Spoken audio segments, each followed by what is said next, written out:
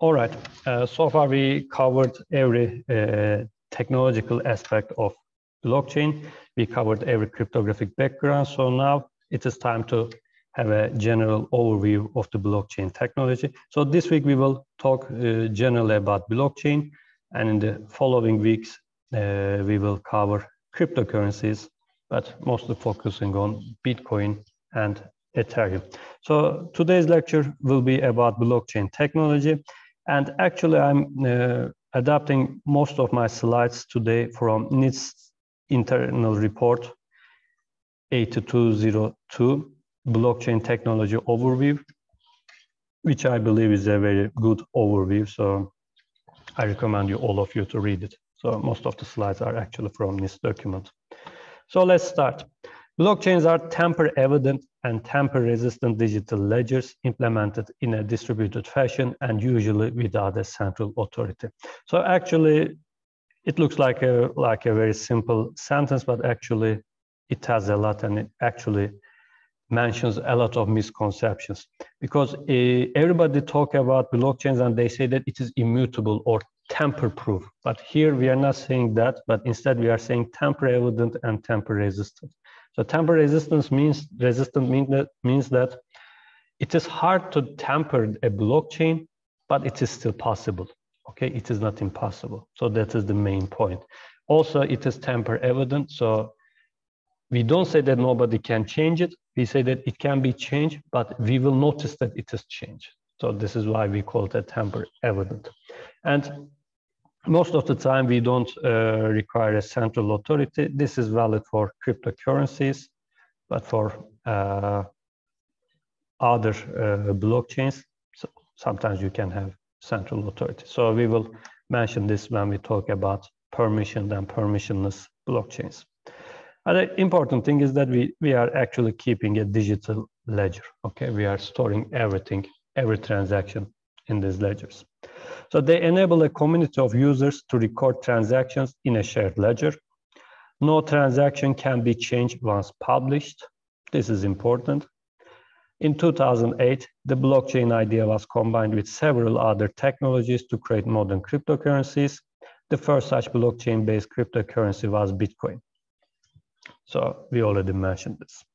So let's focus on Bitcoin just a little bit to see how a blockchain ID is used in the Bitcoin. Within the Bitcoin blockchain, information representing electronic cash is attached to a digital address. So we already seen that this digital address is actually a, a hash of a, a point on an elliptic curve, right? Bitcoin users can digitally sign and transfer rights to that information to another user, and the Bitcoin blockchain records this transfer publicly allowing all participants of the network to independently verify the validity of the transactions. So we already seen elliptic curve digital signature and Schnorr signatures. So we, in Bitcoin, we use as follows. We digitally sign a transaction. So this actually transfer the rights of some cryptocurrency from you to somebody else, which you are transferring money to. The Bitcoin blockchain is stored, maintained, and collaboratively managed by a distributed group of participants. This, along with certain cryptographic mechanisms, makes the blockchain resilient to attempts to alter the ledger later. So this is the whole idea behind the Bitcoin. So let's uh, talk about blockchains in general. Blockchain is hype but the technology is not well understood. So actually this NIST document probably a few years old, but this sentence is still valid, right? Bitcoin was around in 2009 and 13 years passed and still nobody actually really understood what a blockchain is. So this is one of the huge problems. So it's still a hype, people trying to earn money, but the idea of the blockchain actually still not well understood. So we have to understand uh, some things. First, uh, first of all, it is not magical. It will not solve all problems. This is very important because you can search the internet, you can search academic papers, and you will realize that the, they use blockchain idea to everything and expect to solve all of those problems. But actually, unfortunately, most of them are wrong or not necessary. Okay, so it cannot solve all your problems. There's a tendency to want to apply it to every sector in every way imaginable, which is another problem. The use of blockchain technology is not a silver bullet, and there are issues that must be considered, such as how to deal with malicious users, how controls are applied, and the limitations of the implementation. So these things that NIST suggests to be considered are never considered in academic papers, unfortunately. So instead of how can we make our problem fit into the blockchain technology paradigm, the mindset should be how could blockchain technology potentially benefit us? So this is very, very important. Since 2012, many companies consulted me about blockchain and they told me that they want to use the blockchain technology in their company. And I asked why. And they said that the blockchain is hype. They don't know what it is, but everybody's talking about it. So this is why they want to use it. So eh, they're honest, at least. And I uh, tried to explain how the blockchain idea works, and I explained how they can use it. And at the end, they realized that they don't need it.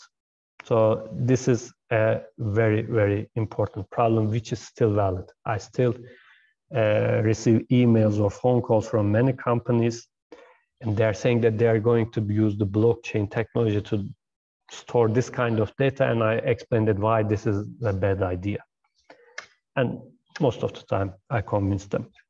So organizations should treat blockchain technology like they would any other technological solution at their disposal and use it in appropriate situations. So this is very important. So many topics became hype in the past, like, you know, they're still hype actually like topics like machine learning, Internet of Things, big data, cloud, these are very nice words, buzzwords actually. So people are very happy to use them, but they use it most of the time in inappropriate situations. For instance, many companies keep their company secrets in the cloud as plain text. And this is actually not something we can accept, right? So, you know, but people still do it. So this is why uh, blockchain technology is somewhat similar.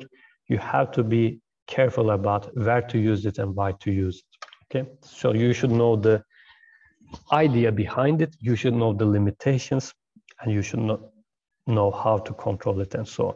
So organizations must understand that while changes to the actual blockchain data may be difficult, applications using the blockchain as a data layer work around this by treating later blocks and transactions as updates or modifications to earlier blocks and transactions.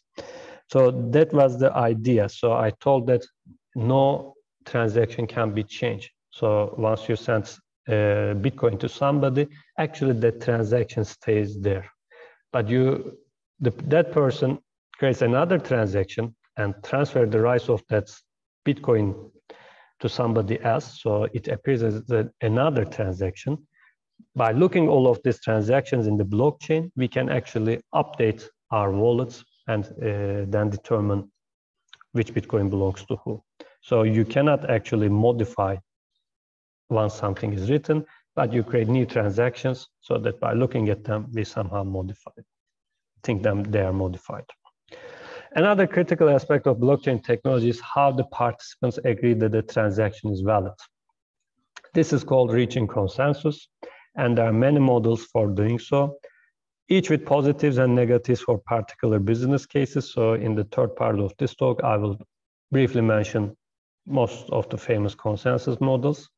But uh, before designing a blockchain, you have to actually uh, carefully state the problem so that you can choose which consensus model is appropriate for you.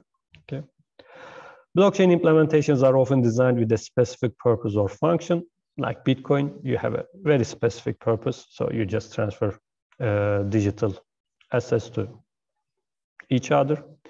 Example functions include cryptocurrencies, smart contracts, which are actually software deployed on the blockchain and executed by the computers running that blockchain or distributed ledger systems between businesses and so on. So you can use blockchains for many different purposes.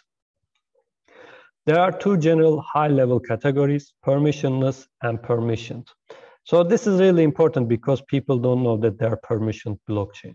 Everybody think about Bitcoin, which is permissionless. So people think that everything is permissionless, but there are different blockchains. In a permissionless blockchain network, anyone can read and write to the blockchain without authorization. Permission blockchain networks limit participation to specific people or organizations and allow finer grain controls. So let's look these two uh, technology in a closer way. So blockchains are distributed ledger comprised of blocks. Each block is comprised of a block content header containing metadata about the block and block data containing a set of transactions and related data. So I, I will come back to permission and permissionless models in the future. So let's currently keep it like that. So think about Bitcoin or any cryptocurrency. They are permissionless because in those cryptocurrencies, so you can be a part of the network, you can join at any time, you can do mining and you know you can create blocks and so on. So it is permissionless. So actually this is why we don't know anybody, but we have to somehow uh, trust that system works. We will talk about it, but as long as you know more than half of the uh, participants are honest, then it should work correctly. But you can have permission blockchains. Uh, here, there might be some authorities who give authorization to some people or organizations so that they can join the network. So let's focus on the blockchains and actually part of the blocks. Blockchains are distributed ledger comprised of blocks. Each block is comprised of a block header containing metadata about the block and the block data containing a set of transactions and related data. Every block, except for the first block of the blockchain, which is generally called uh, the Genesis block, contains a cryptographic link to the previous block's header. Actually, we by cryptographic link, we are actually talking about the hash, right? So we are actually hashing block header, not the whole block, but the block header. We will see uh, more clearly in the following slides. But instead of saying, you know, block one, block two, and block three, we actually also keep the uh, hash of the previous block so that whenever we say that which block we are talking about, we can be sure that it is coming from the previous block. So this way you provide actually tamper resistance. Each transaction involves one or more blockchain network users and a recording of what happened. And it is digitally signed by the user who submitted the transaction. So uh, it doesn't matter who you are sending money to or you are transferring any rights to somebody, that somebody actually doesn't have to be included in this process. They don't even need to be connected to the network at that time. You are sending the money, the Bitcoin, or you are transferring the right of something. So you are the one who is signing the transaction. You simply provide the public key of the person you are uh, transferring the rights to. So that person might not be even aware that you uh, transfer something to them. Later in time, they may notice that they received something by using their public private key they can claim that uh, Bitcoin or whatever blockchain you are using. So here, when I say it involves one or more users, by the more, I'm not talking about the person you are transferring the rights to. Actually, I'm talking about the person or persons who are digitally signing the transaction. If it is a multi-signature process, then there will be more than one person who is signing it, right? So it doesn't matter who or whom you are transferring the money to, but we are interested in which people got together and signed that transaction. Okay. Blockchains are distributed digital ledgers of cryptographically signed transactions that are grouped into blocks. Each block is cryptographically linked to the previous one, making it tamper evident after validation and undergoing a consensus decision. So whenever you actually publish a block, all of the full nodes in the network, uh, check the consensus model and see if it is valid or not. So it actually goes a validation process. Actually, that validation includes uh, checking the validity of every transaction that you included in the block and so on and so forth. As new blocks are added, older blocks become more difficult to modify, creating tamper resistance. So this is actually, some people uh, see it like a Lego. Uh, whenever you create a new block, actually you are putting a Lego uh, on top of your tower of Legos. So since you are putting more onto the top, it becomes very hard to modify something at the bottom because you have to destroy everything from that Lego piece. So this is why it is tamper resistance, okay? New blocks are replicated across copies of the ledger within the network and any conflicts are resolved automatically using established rules.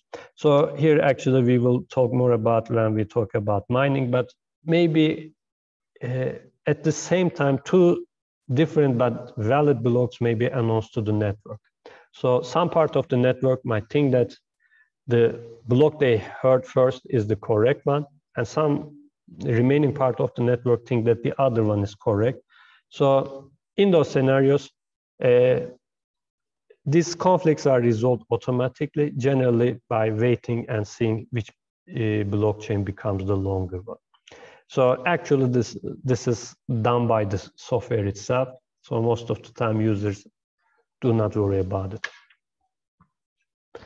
Let's look at the Bitcoin in this sense. In Bitcoin, the blockchain enabled users to be pseudonymous. This means that, actually next sentence will explain it in a more clear way. This means that users are anonymous, but their account identifiers are not.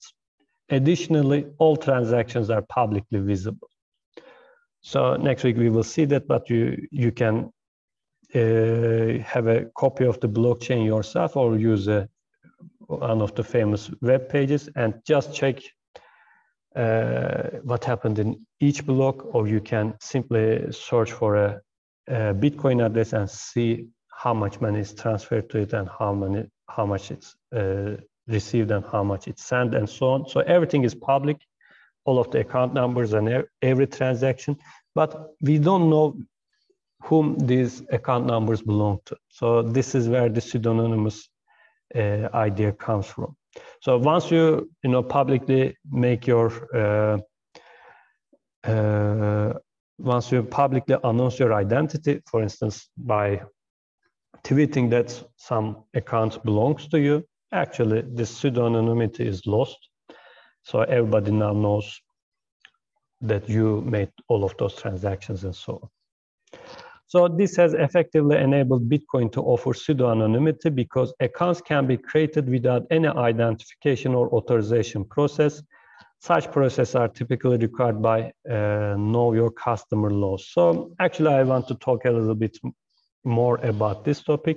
So uh, generally, you can actually create a Bitcoin wallet without uh, you know providing your identification like you know uh, sending a photo of your id or anything simply by using a software you can create a bitcoin wallet a bitcoin address and somebody can transfer bitcoin to you and you can transfer it to some place somebody else and you know use it.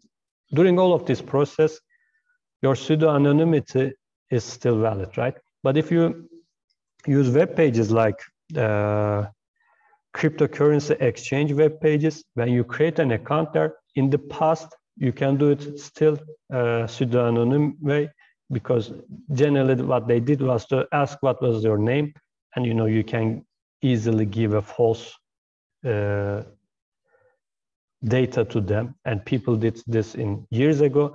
But a few years ago due to know your customer laws all of these web pages are forced to uh, know their customers. So maybe since 2012 or 15, whenever you create an account from a cryptocurrency exchange web page, you have to prove your identity. And most of the time, since these web pages work internationally, what they do is to, you know, uh, send them a photocopy or a photo of your ID card, but you also, you know, keep that ID next to your face and take a selfie to prove that it really belongs to you. So, uh, so far this was the case, but still, as you can see, I can I have to do this. I have to lose pseudo anonymity when I use a crypto exchange web page. But uh, if I don't use such a crypto exchange web page, you know, I, I can keep my pseudonymity, right? I can simply go to uh, a wallet software and create a wallet and, you know, transfer Bitcoins to each other. But very recently, European Union passed a law saying that those wallet software should also know their customers as it is mentioned in the know your customer law. So this is very uh, hard thing to explain to lawmakers and also the users, but maybe you are familiar with, for instance, MetaMask, which is a, a wallet software that uses Ethereum uh, blockchain. So due to the idea behind the Web3, you know, now you can just create a, a account using the MetaMask, you know, connect to web pages, buy NFTs and sell NFTs, you know, transfer Ethereum and so on. So these softwares allow you to do that and you, you could do it in a pseudo-anonymous way, right? And uh, this is somewhat uh, the part of Web3 because uh, recall that in the last five or 10 years, whenever you wanted to create an account to a web page, you know, the, you can create it in a usual way, or sometimes there's a button saying that connect with your Facebook account, which is very convenient. You know, you just, just press a button and log in. Now you can say that connect your wallet. So when you press that, uh, since your actual MetaMask account contains a public key, this actually allows you to sign transactions. So this way you actually can log into, you know, NFT uh, marketplaces and, you know, buy NFTs and so on, do whatever you want. Or you can log into a Twitter variant of a social media and so on. But now European Union law says that uh, applications like MetaMask has to collect user information. So this is really bizarre what I understand from those laws, you have to again, you know, provide your ID or maybe take a selfie with your ID next to your face whenever you create a MetaMask account if you're a European Union citizen.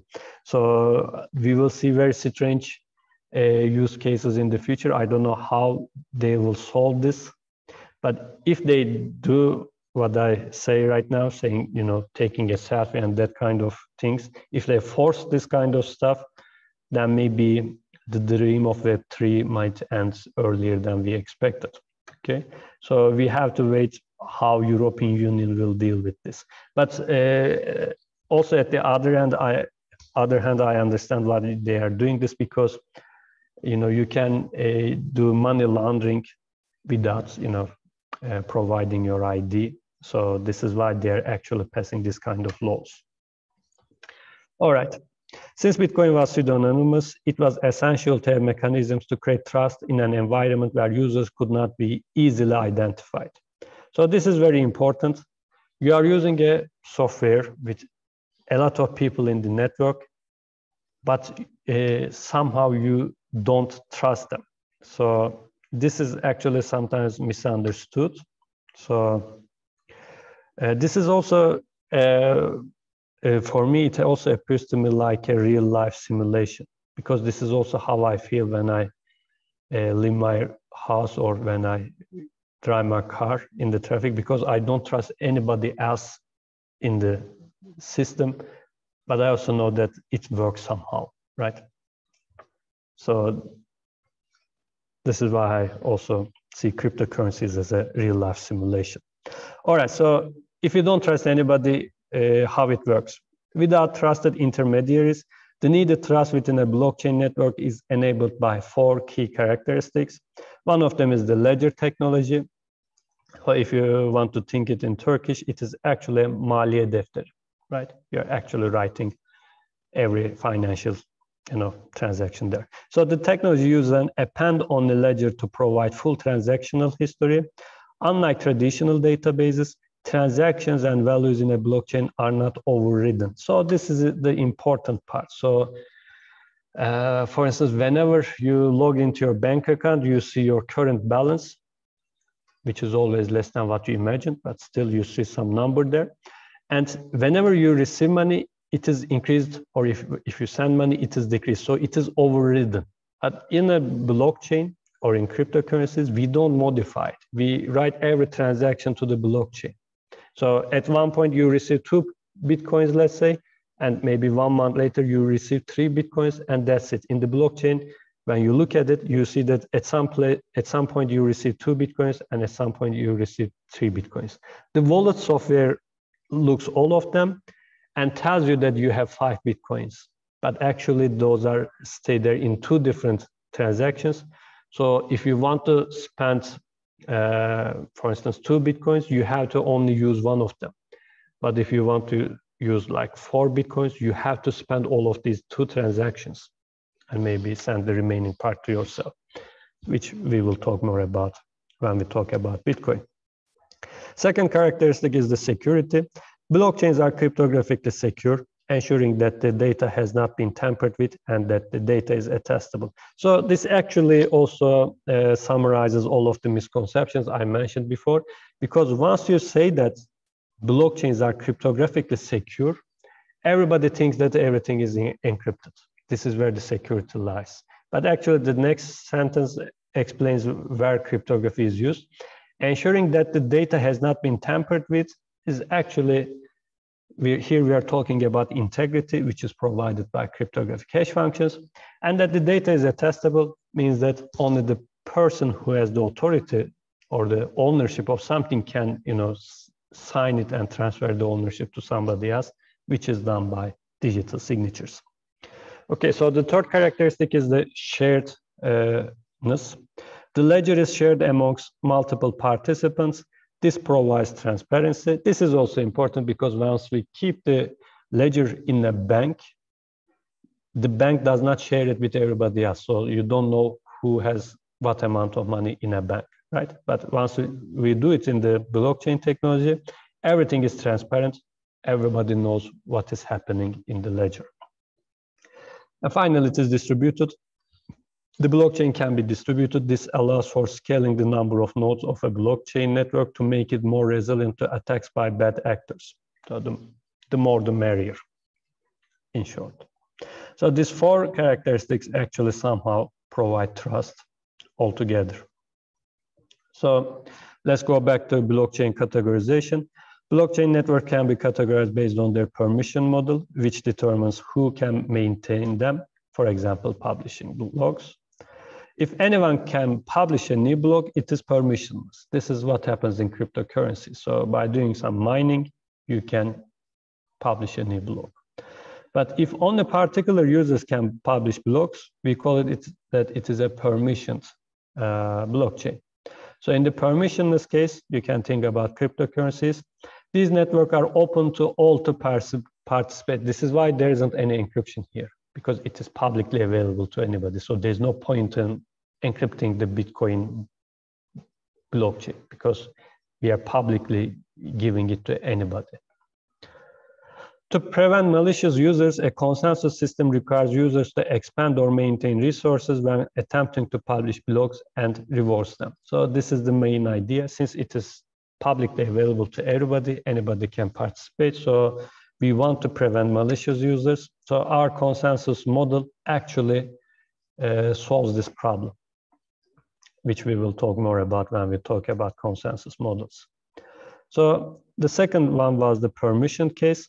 Permission blockchain networks are ones where users publishing blocks must be authorized by some authority.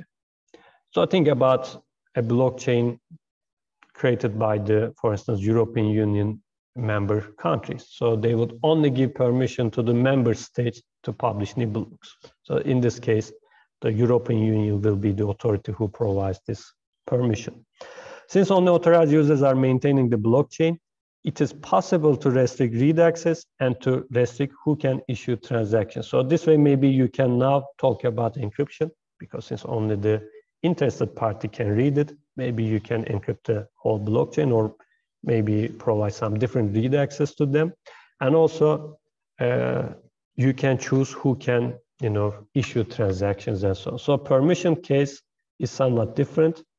And uh, most people always think about permissionless case. So this is what, what also was hard to explain to people because when Bitcoin became very famous around 2015, almost every country uh, officials started to say that we will create our own Bitcoin. So again, some people consulted me asking me how they can create a, their own cryptocurrency. And I asked them why they want to do such a thing. Because currently their financial systems are already digital. So there should be a reason for you to create your own country's cryptocurrency. But they were trying to explain to me that they want the exact copy of Bitcoin, but the ownership will be theirs. So I said then to that, then you need to move to a permissioned blockchain. But once you move to a permissioned blockchain, it will not be the same as the Bitcoin. So this was very hard for them to understand. So they said that they will create their own Bitcoin, but since 2015, I haven't heard any such uh, cryptocurrency created by them. So uh, you have to understand what you want to do. If you want to create a cryptocurrency like Bitcoin and make it permissionless, where everybody can mine and uh, you know create uh, earn uh, bitcoins, then it have to be permissionless, but then it will not belong to you. So if you want something where you have the authority, you have to make it a permissioned blockchain. So actually you can create such cryptocurrencies like there are some stable coins where countries uh, trying to build for themselves. So they are trying to fix its price to their current currency. For instance, think about a stable coin created by Turkish government. So there any coin will be equal to one Turkish lira. But if for some reason people get more interested by for in buying this stable coin, it pri its price might increase more than one Turkish lira. For instance, let's say that it became 1.1 Turkish lira. At that point, the authority has to provide or supply more stable coins into the system to create an inflation so that its price reduces to one uh, Turkish lira again. So the opposite can also happen. So maybe it loses some value, so it becomes 0.9 Turkish liras. And at that point, you have to create deflation, so you actually burn some of your currency so that it, its price increases. So for this reason, this stable coin type of cryptocurrencies allow you to burn coins. Actually, you can also burn your crypto, uh, Bitcoin, but this is due to the uh, thing that allows you by the, uh, actually this comes from the script language of the Bitcoin. Because you can create such a transaction where you start to transfer some money, but you know, finish the transaction by returning true so that that you can destroy that money completely. Nobody can withdraw it. So there are ways of burning Bitcoin, but uh, this was not actually intentional. It is just way of creating a transaction.